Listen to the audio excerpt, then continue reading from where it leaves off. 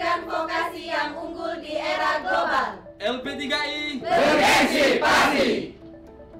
Kami, Unit Kegiatan Mahasiswa LP3I, Angkatan 2017, mengucapkan selamat ulang tahun untuk LP3I yang ke-29.